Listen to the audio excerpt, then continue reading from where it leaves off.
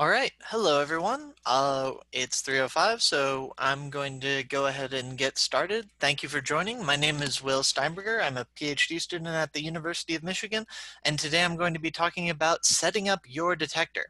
So it was brought to my attention that uh, go next slide. There we go. That this is really an open-ended question of setting up your detector. So I'm going to apply some constraints to that uh, statement real quick, and then specifically we're going to focus on some key points. So the first uh, constraint is that we're going to focus on scintillator-based detectors, and we're also going to assume that we can uh, fully uh, adjust our scintillator detector such that we control the wrapping, we control the coupling, we control what we couple it to, the environment that it's placed, and then finally we're going to end up uh, with voltage and how do we determine an optimized voltage. So scintillator, reflector, and coupling, these two things matter significantly for light collection efficiency. We have to be able to collect all the light that is emitted from the scintillator, which is directly going to impact our energy resolution and total light output. As we'll see also, this affects our pulse shape too, which will impact our timing resolution or timing applications.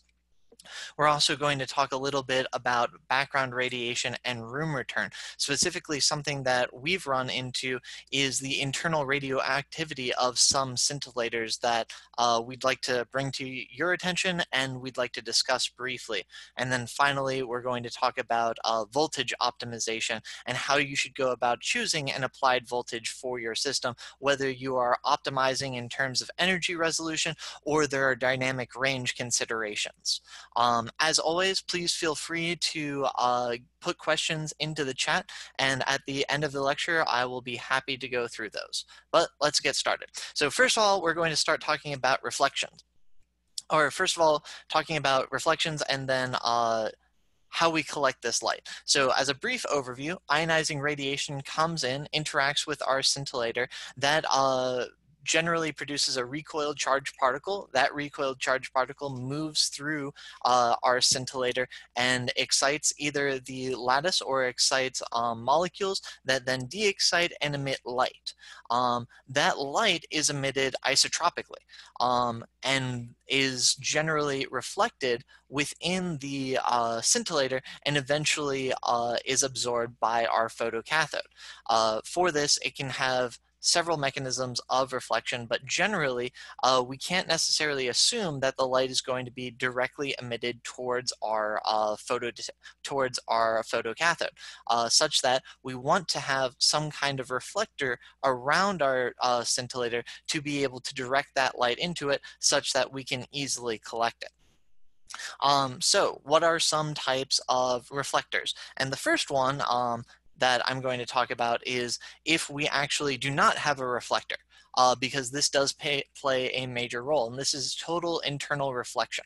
So this occurs when we have, if we look at this plot or this figure on the right here, when we have two different mediums where we have a lower and higher index of refraction between the two, such that if we have light, let's say produced in a scintillator that has a higher index of refraction, and then air that has a lower index of refraction, at some point we will get um, light that will be able to escape with some angle, um, but will eventually hit a critical angle.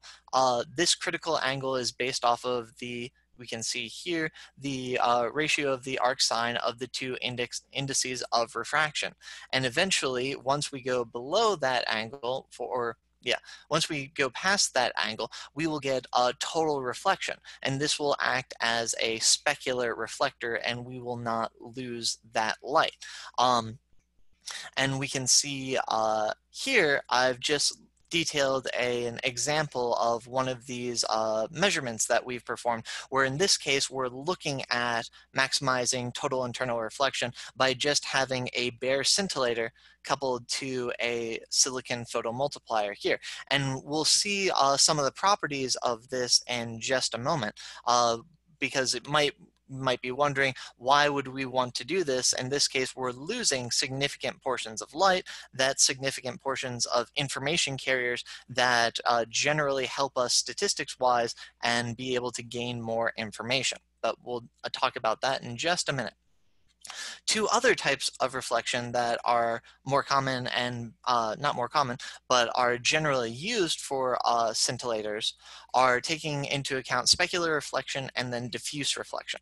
So specular reflection, just like what was showed on the uh, previous slide, when we go past that critical angle, is when the incident light scatters at the same uh, angle as the reflected light. And you can see that is the law of reflection, that is a mirroring here. Um, and we this comes up with mirrors, it comes up in a lot of things. Uh, example of specular reflection, uh, seeing this bounce off of the water there, that we get that mirror image of it. Um, and the angle of the light is not changed. Uh, another type of reflection that we take into account is diffuse reflection. So in terms of specular reflection, we have the incoming photon go off and scatter at its incident angle. Um, However, with um, diffuse reflection, there is some probability that that photon can scatter at any additional angle. Um, with this medium. And the idea behind this is that you have a non-polished or non or a rough surface such that the incoming photon uh, basically can interact with any like sub facet effectively of the surface and scatter at any angle, which is why, um, for instance, uh, if this uh, water was not stable and uh, clear, but it was very rough, very choppy, you would get more of a diffuse reflection where you won't be able to make out that image. So what are some common types of reflectors that are used for these applications? So diffuse reflectors, um, one of the most common ones is Teflon tape, uh, PTFE. Uh, this is generally used for uh, pipes, things of that nature. Um, uh, when uh, putting things together, but it works as a fantastic reflector. And we're going to show some data uh, to back up that statement in just a moment, but uh, that works great and is very common that you'll find within uh, nuclear instrumentation. There are, of course, reflective paints. Um, EJ510 from Eljen is a reflective paint that we've used with that I believe actually contains aluminum oxide. Aluminum oxide is also a very common uh, diffuse reflector. So generally, uh, when especially purchasing inorganic scintillators, they will at the very least, if they're not already coupled to a photomultiplier tube or a silicon photomultiplier, they will come in their own housing. And you can see an illustration of a basic package scintillator here, where you have an optical window that is generally coupled to the photomultiplier tube. You have some optical medium uh, coupling the scintillator to the window. And then we can see that we have this reflector uh, between the scintillator and its housing. Generally, this reflector is aluminum oxide um, that you'll see uh, purchases from Eljen, from um, St. Gobain, companies of that nature will have an aluminum oxide layer between this, and it works very well um, for uh, diffuse reflection and eventually light collection. In terms of specular reflectors, uh, mylar uh, space blankets um, is used and actually works fairly well. Uh, and then you can absolutely get into more complicated specular reflectors um, that are specifically designed mirror surfaces. So here, 3M SFP D50F, um, I have linked the product description here if you are interested uh, to learn more about it, but it is a very good uh, specular and mirrored reflector that can be used for these purposes. And just as an illustration here, uh, we have built uh, these types of housings before to put over uh, various organic scintillators. And in this case, we were actually testing the light collection efficiency between a cone and a cylinder to see if we can perform some optimization there in the actual shape of the scintillators while keeping, in this case, the reflector constant. So reflector applications. The first one I'm going to talk about is signal to noise. So now that we've talked about uh, the various types of reflection, how does this actually impact our measurement for consideration? So the first thing we need to look at is just what is our signal out and how does uh, that compare if we were to use other uh, reflectors or things of that nature. So in this case, I've shown this experimental setup on the previous slide, but I have it here again just for reference, where we have our bare, this is a stilbene scintillator coupled to a silicon photomultiplier. And we are in this plot measuring a cesium-137 source with this. So cesium-137 emits um, a 662 keV gamma ray uh, that will come in and primarily Compton scatter in our stilbene um, and from that Compton scattering, we will get a continuum down to some endpoint, which is the Compton edge of this. And we can clearly see here, since uh, we're keeping our experimental setup uh, constant in this case, all we are doing is changing the reflector here, that as we go from no reflector to a specular reflector, and then up to a a diffuse reflector, in this case Teflon, we're getting significant changes in our light output. We're for um, so in this case, this is just the pulse height, which is uh, related to the total light output where we're almost getting a doubling factor just by putting on this reflector. And for the Mylar and the uh, DF50 reflector, we are getting some more. And then we can actually see here that the 3M uh, D50 reflector does behave uh, better than the Mylar in this case.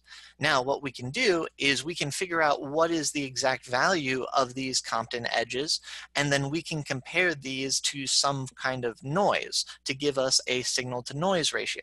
And uh, one of the common things that is done for this, um, since we do not obtain photo peaks and thus cannot uh, easily determine energy resolution uh, with organic scintillators is we look at the root mean square or the standard deviation of the uh, baseline before the rising edge of the pulse.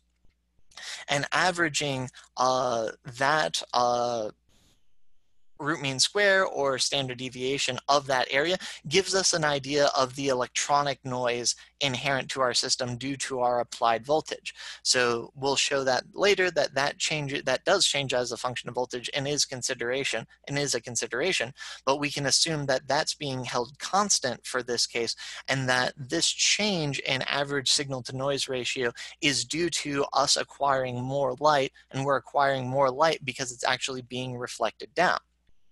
Now, one thing to notice here is that um, might be asking, why does the Teflon actually acquire more light, I'll go back to this slide, than the uh, Mylar or the DF50 reflector, than the specular reflection? And the reason is you're not going to get uh, significant angle changes with the Mylar or the DF50 reflector, such that there's only so much light that can act, that is actually at an angle that can then be uh, collected by the uh, photodetector. Versus with the Teflon, because every time it scatters off of the reflector, it can be uh, scattered at some other angle that means the angle is constantly changing such that eventually it will uh, be at an angle that can be absorbed by the photodetector. Um, one thing to note here, uh, and this is uh, very true with organic scintillators, is that the internal um, attenuation of photons with organic scintillators is uh, very low, such that um, you can have very large organic scintillators and you will not have significant light loss across the organic scintillator. This is not so for inorganic scintillators. So that's something to just keep in mind here. Now, how does this affect other properties? And one of the other properties we uh, mentioned and we care deeply about is timing performance. So in the measurement that you previously saw, instead of using a cesium source, we use a sodium-22 source to measure this. Sodium-22 is a positron emitter, so that positron, uh, it decays from sodium-22, uh, then uh, interacts with an electron, annihilates, and produces two 511 keV photons that are emitted at 180 degrees from each other, such that we can put a detector on both sides sides of the sodium-22 source, look for coincident events, and then uh, look at the relative difference between coincident events. And because our system is so small, uh, in this case, relative to the uh, time for the speed of light, we can assume that uh, any spread in our distribution is due to the response of our scintillator and our um, photodetector. And that's exactly what we're looking at here. So um, we can see this time difference between those two 511 keV photons for in, in this experimental setup for those uh, various reflectors. And this is uh, very interesting in that we can see that in this case, the Teflon, uh, if we look at the full width that half max of this distribution, uh, behaves significantly worse than the other three in this case versus so we get about a one and a half or 1.6 nanosecond standard or standard uh, full width at half max time resolution uh, for this scintillator wrapped in Teflon versus that goes down by um, about half a nanosecond roughly uh, for the DF50 and for the Mylar that are both um, within uncertainty of each other. We can even see that with no reflector that uh, our timing performance behaves better than with our Teflon. And what's happening here um, is that uh, when uh, interactions occur within the uh, DF50 mylar specular or no reflector, that all of the light that can make it uh, to the photodetector in minimal scatters is being collected um, almost immediately for it, and you don't get um, a significant amount of additional light onto that. Versus uh, with the Teflon, uh, any light that interacts with the edges can be uh, scattered at some other angle. So you're collecting that light over a longer time period than with the DF50 and with the Mylar. So um, what's then happening is that we're getting more statistics in the rising edges of our pulses using the DF50 and the Mylar as opposed to the Teflon and no reflector in this case, um, such that uh, we have better certainty in the rising edges for the timing pickoff and thus better time resolution in this case. So just something interesting, something to consider when setting up your measurement or your applications. Um, two problems that I want to discuss when uh, working with reflectors that are of uh, that can be of significant consequence. So the first one is simply not putting enough reflector on your scintillator. So here is, I believe this is EJ200 um, that we've coated in uh, the uh, reflective paint in this case. Um, and one of the things you can see is we have a UV light. We have this area that is open, that is unreflected, uh, such that we can couple it to a photomultiplier tube, and we have the rest of it covered. Now, any light that we can see from these angles around it means that there is some non-negligible negligible probability that that light can escape.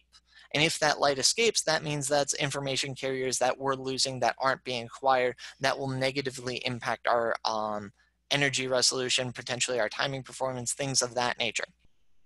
So one thing that is very important with this is to ensure that the, there is an adequate reflector around these scintillators, um, especially with uh, Teflon wrapping, ensuring that it is wrapped enough um, is uh, significant. And especially when purchasing instrumentation and things of that nature, uh, do not be scared to talk to the supplier and ensure that you get details on what the reflector is and if they've performed any optimization with the reflector. Uh, you will find out uh, surprisingly that most companies do not do that and you do have to specifically request it. So just something to keep in mind there. Uh, something else to note um, is that your reflectors can degrade over time, especially if they are not encased and are open to the environment. So I mentioned that Teflon is very commonly used and it acts as a fantastic reflector as we just saw from the previous data. However, Teflon can degrade. So here we have a previously wrapped uh, Teflon sample, two previously wrapped Teflon samples compared to a brand new Teflon sample. And you can physically see that we can see through portions of this Teflon versus the new Teflon we cannot uh, see through at all. And this matters significantly because it's changing your light output collection efficiency. It's changing your detector performance such that any calibration you've previously taken that you want to apply to the system may not actually apply. And this can cause all kinds of issues down the road. So two things to think about uh, here and to some extent, uh, how you would go about mitigating environmental impacts on your system. So next, now that we uh, have our scintillator, we have that wrapped, we've got a good reflector on it, and we know our application for it, whether we care about uh, just complete signal, energy resolution, or timing properties, how do we actually get it coupled to the uh, photomultiplier tube or the silicon photomultiplier? So generally PMTs and SiPMs have a quartz or glass window that we couple them to. And if you just take it and stick it right on there, you're going to probably get an air gap between the scintillator and the window, which can cause uh, that reflection uh, that we don't necessarily want. So one thing we do to match the indices of refraction between the scintillator and our uh, photodetector is to put some type of coupling interface. Generally, um, you'll see that optical grease is very commonly used, and I have uh, references from Eljen here for both, um, because these are very commonly used. Eljen 550 um, for the optical grease, and then Eljen 560 for optical pads. Now, the question becomes, well, why would I want to use optical grease versus an optical pad? So some quick comparisons here. Uh, I've listed the transmission as a function of wavelength for both of these materials. Uh, and we can see that uh, with the optical transmission for 0.1 millimeters, very thin amount of optical grease, really don't need a lot of it, we can see that we get near 100% um, efficiency or transmission uh, through this, uh, especially in the blue region that we really care about. Uh, 420, 425 is where a lot of these scintillators peak, uh, stilbene uh, peaks closer to about 380 nanometers. Uh, so we want this to have very high transmission efficiency such that we're not losing photons due to our coupling technique here. Um, with the optical interfaces or optical pads, we can see that it's about 10% uh, transmission loss, that it is significantly uh, lesser. However, one of the nice things about the optical pads is that they do act as a cushion and give. So if you are having a detector that can be jostled around, that can be moved, or that um, you want uh, to have a constant pressure for it to be coupled to your photodetector, and you don't want that to necessarily damage the photodetector, optical pads and optical interfaces uh, can be a very good choice for that use. So uh, next thing I'm going to talk about is uh, making a light tight system. Um, so as I mentioned, uh, many uh, scintillators that are purchased, um, you will already get them in their detector housing, things of that nature, where you can see this is an EJ309 liquid organic scintillator detector down here, where we have a three inch uh, cylinder of EJ309 liquid organic scintillator coupled to a photomultiplier tube. And you can see that this is rather robustly coupled. And that's very good where they have figured out a particular way of coupling this and getting it to work properly and function properly. Um, this type of uh, detector, however, is not uh, very conducive for uh, relative changes. If we want to take out EJ309 and couple a different scintillator to it, that doesn't really work out well. So generally what we'll have is just open detectors here. So this is a one inch Hamamatsu uh, 10580 photomultiplier tube that we've coupled a uh, six millimeter cylinder of cerium bromide to. Um, and we can see that in this case, the cerium bromide does not occupy up the entire space, it's much smaller, and we can see the photocathode surrounding this. Now, if we were to energize this photomultiplier tube in open light where this picture is taken, uh, that would probably kill the photomultiplier tube the just it's too much light it's going to overwhelm the system and it can damage it uh, significantly so what we need to do is put it in some kind of light tight housing. And one of the simplest things we do for this is we uh, literally wrap it in a combination of Teflon and electrical tape such that you can see here where it's the same photomultiplier tube that we've just wrapped in this tape to ensure a light tight seal with it. And this is very convenient to be able to do um, to uh, get our detector working and thus to run many different tests or different um, combinations of scintillators coupled to it. Of course, uh, with this is a small detector and this works well, but you can also have larger applications. And for this, it is uh, very common to use what is known as a dark box. So all a dark box is, is a uh, box or some kind of system that blocks out all ambient light or light sources. Um, dark boxes can be purchased or made um, depending on the application. So in this case, a student was testing the response of five inch photomultiplier tubes, so relatively large photomultiplier tubes, and was uh, switching out uh, huge combinations of scintillators. And in this case, did not want to uh, couple a scintillator, completely wrap it, and have to unwrap it and rewrap it for each case and just wanted to make life uh, easier to go in, couple, recouple it. And so what they actually did was this is, and to give you an idea of the ingenuity of uh, how this can be made and that it doesn't have to be anything that grand. Uh, this was a dog cage uh, wrapped in um, uh, blackout light curtains and we did a uh, very thorough job to ensure that we got overlapping and seals with this and everything. And you can actually see the setup where we have the five inch photomultiplier tube. And in this case, we were doing a backscatter experiment, um, looking at the energy resolution response of these types of, uh, of organic scintillators coupled to these large detectors. Um, and this ended up working out very well, but it gave us the opportunity to have an exposed uh, photocathode on this photomultiplier tube and to be able to easily go in and trade out uh, these types of scintillators. Um, the next consideration um, that I'm going to discuss when uh, talking about uh, setting up a detector is uh, backscatter and room return. Um, so generally, uh, when we talk about backscatter, we're talking about uh, photons interacting with the environment and then interacting with our detector.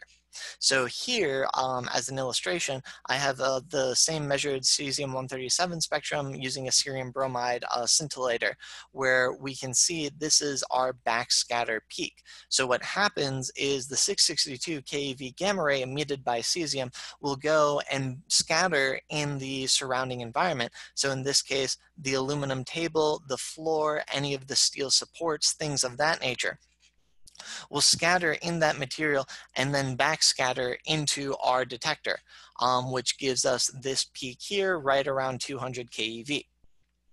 Uh, generally, you will always see this um, with detectors, especially if you are in some kind of laboratory environment, things of that nature, where you have a lot of scattering materials.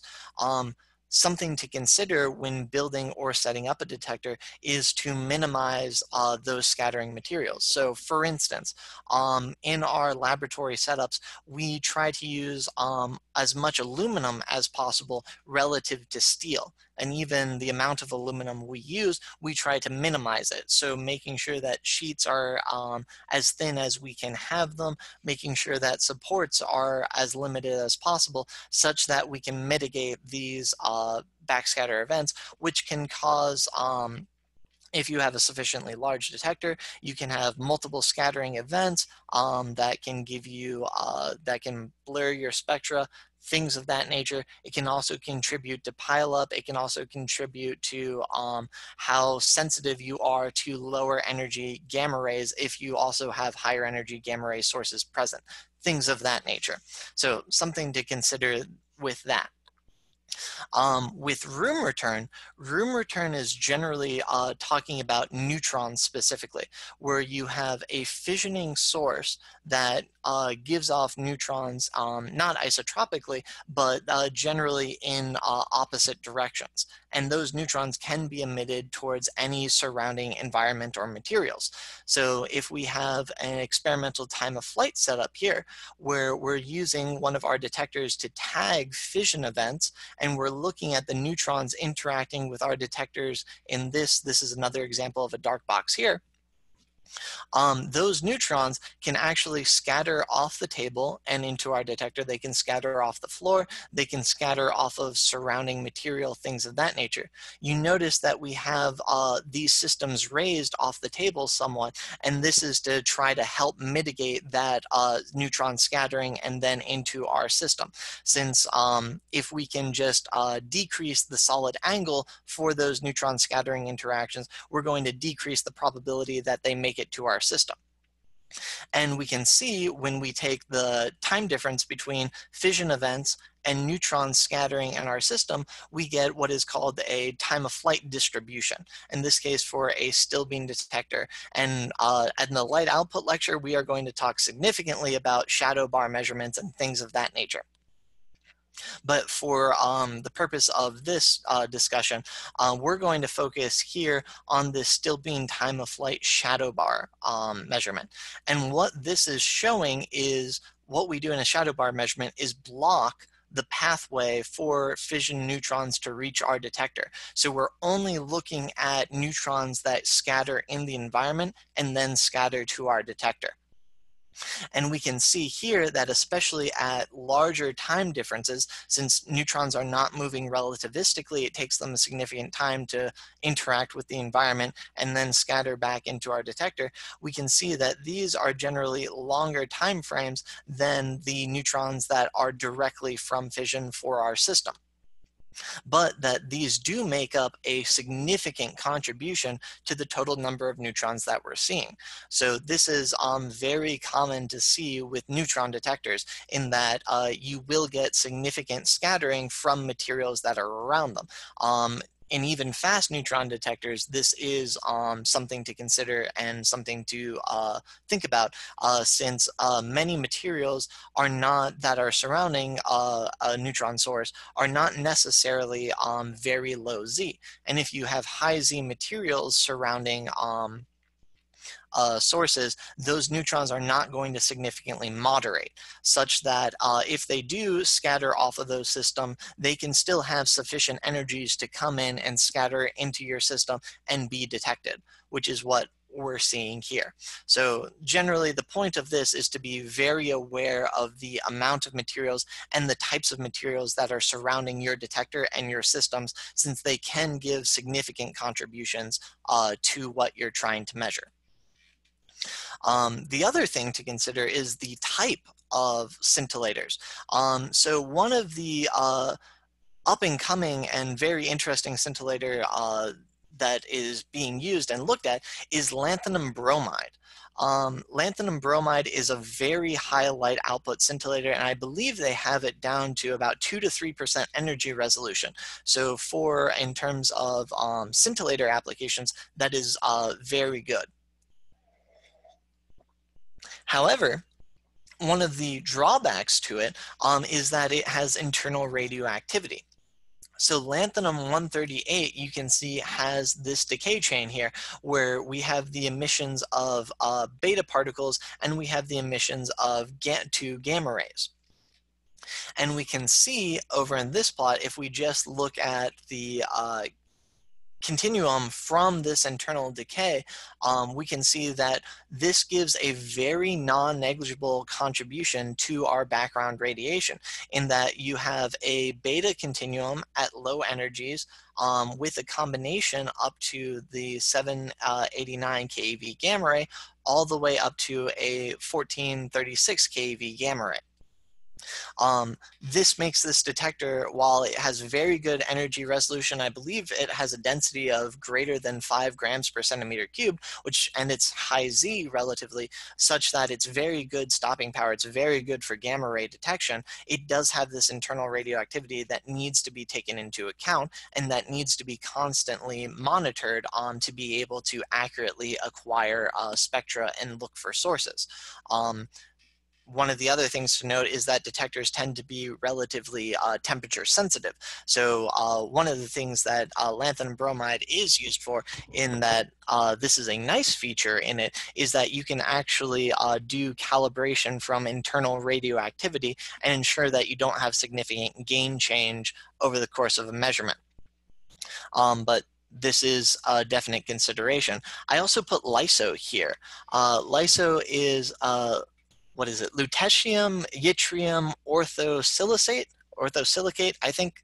Um, LYSO is very commonly used for um, uh, positron emission tomography, uh, PET imaging.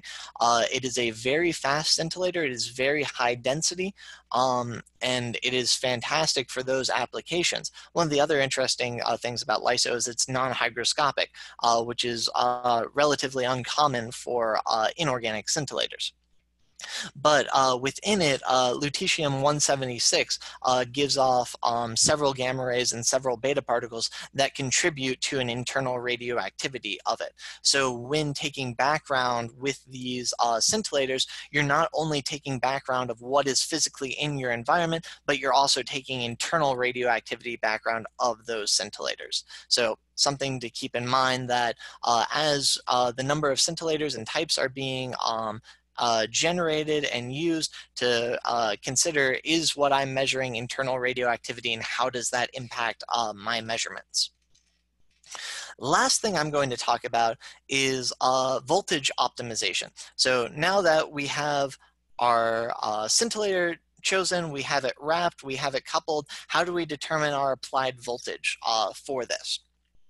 So one of the methods that can be used, let's say if you're using an organic scintillator where we can't easily obtain a photo peak, is to look at some kind of signal to noise ratio. So in this case, um, as I previously uh, showed with the Compton, we can take the Compton edge as a function of signal, as a function of light output uh, for our detectors.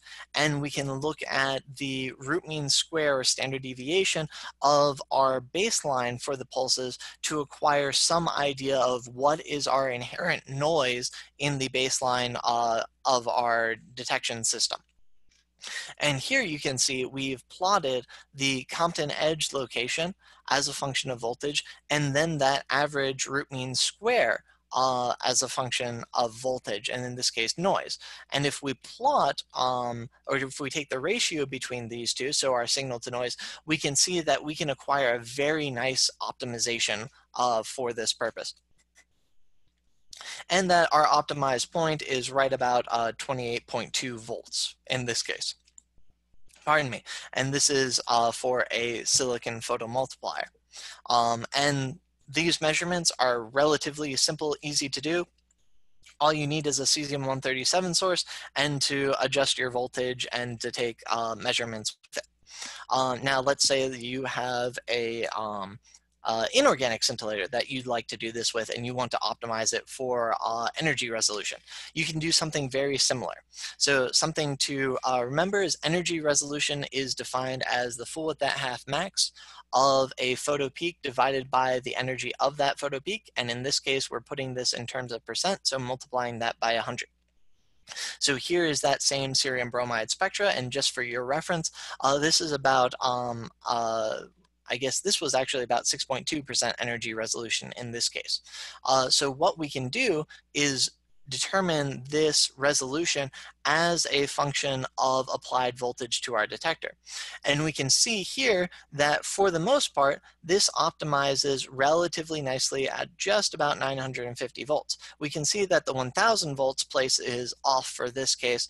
Um, and I show this uh, to give you an idea that these optimization processes are not always uh, perfectly clean and that uh, for this measurement in particular, um, to determine if this was an off point or if something went wrong, uh, we would really need to rerun this again and determine some standard deviation for these to get a very well-defined curve. Uh, but the overall trend that we get uh, poorer resolution down to better resolution and then poorer again as a function of voltage uh, holds that there is definitely an optimized voltage where we're getting the most gain for our system and that uh, relative to the amount of noise in our system.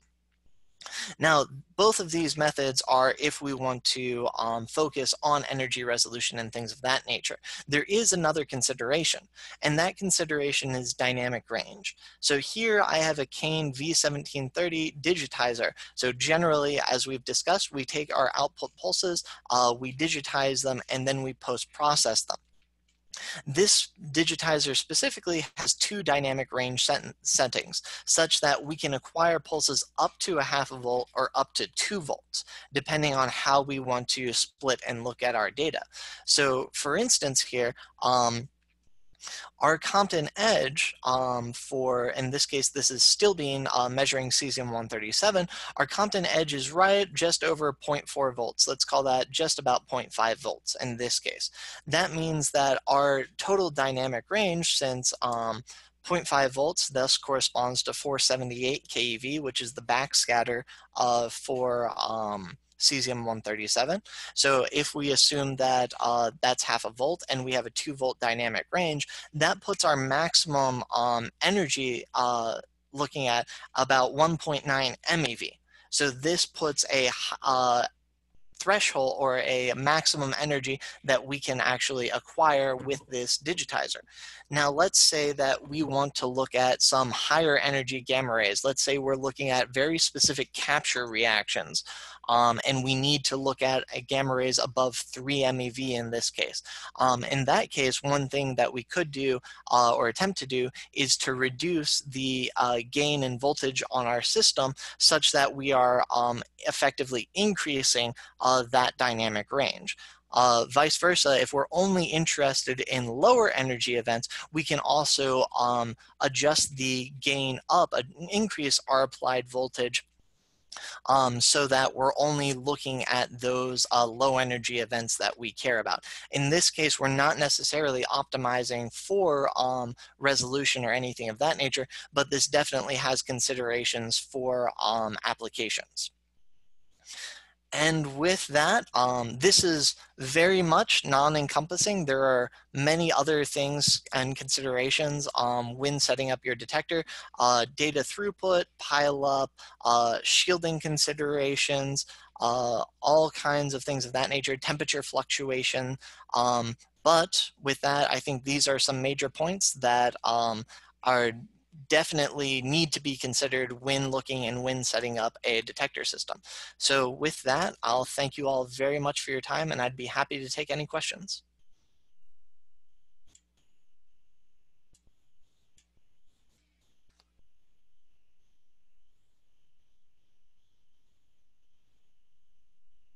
Uh, first question from uh, Marcus, have integrating spheres been used uh, to collect scintillator light in nuclear applications? It would do away with the need for a reflector. Timing may be affected though. Um, honestly, I am not certain. Uh, and that is something I will definitely look into. That's a very good question. A question from uh, Jake Carter. Thanks for presenting. How do you choose the threshold on the curve for the uh, signal to noise ratio calculation? Uh, very good question. Uh, in this case, um, so I assume you are referring to this applied voltage here. Um, in which case uh, this was something we started off. So we know for uh, silicon photomultipliers, uh, the photo detection efficiency varies as a function of applied voltage, that as you approach the uh, I believe it's close to four or five volts above the breakdown voltage of the silicon photomultiplier, you maximize uh, the photo detection efficiency. So theoretically, at those voltages, you should get the most um, light collection as possible. So what we did is we started off, in this case, several volts below that. Um, earlier slide, oh, sorry, earlier slide for SNR. Oh, um, uh, give me one moment, sorry.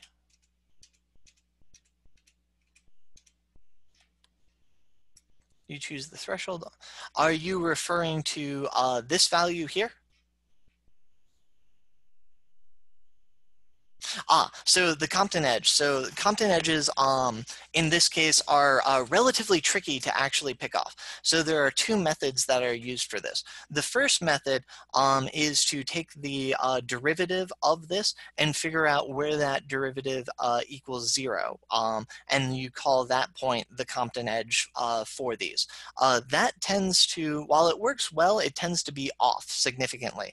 And the method that we actually use for determining the Compton edge values is we uh, simulate an unbroadened spectrum, in which case an unbroadened spectrum will just give you a line where the Compton edge is, and then give you some multiple scattering interactions after that.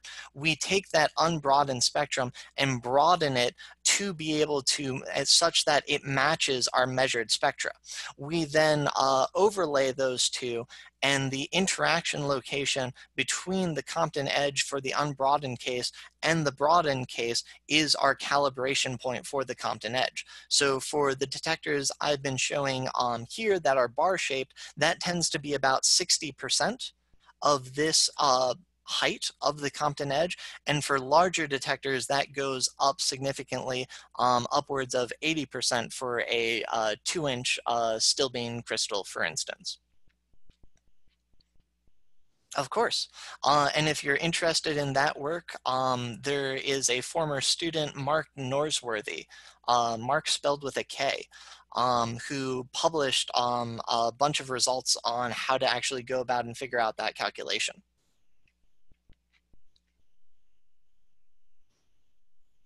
Is the backscatter peak typically at 200 keV or does it change from measurement to the next? Uh, it's typically around 200 keV, but it is definitely uh, gamma ray dependent, um, which can be figured out based off of the uh, Compton scattering equation.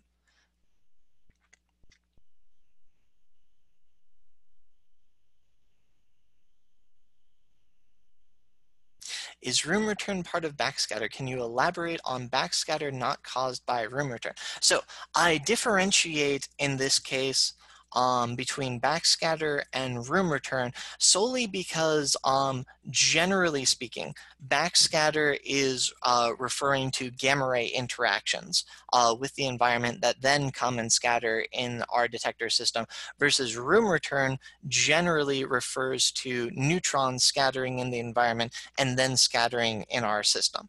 Um, that's the major uh, consideration between those. Both are caused um, by the room and by surrounding materials with the system.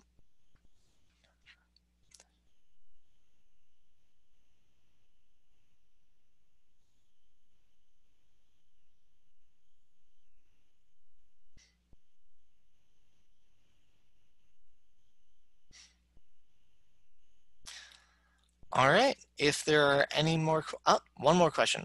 Uh, what about calibration? How do you do that? Ah, so in terms of, so for calibration, Ah, so I assume your question is uh, referring to uh, calibration from, in this case, voltage to KEV or keVee, uh, and talking about nonlinearity effects, things of that nature. Um, uh, Stefano is going to be talking about that tomorrow. Uh, so you'll get much more on calibration and those types of things tomorrow with that. Uh, in terms of calibration for how to choose your uh, voltage, uh, this signal to noise ratio and plotting the energy resolution as a function of applied voltage um, both show uh, how to go about that. But he'll be talking about uh, how do you actually go through the conversions um, tomorrow.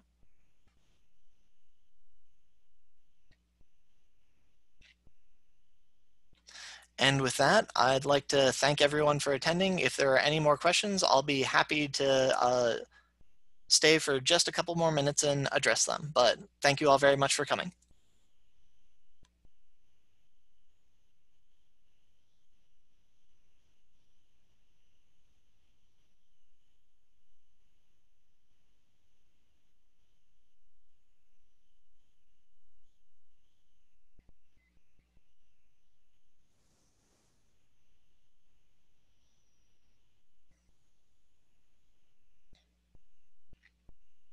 Um, Jake, uh, I didn't get the choice for voltage dynamic range. So um, this is so this is um, something that's very specific to these types of digitizers that uh, there you can adjust it specifically for these types of digitizers.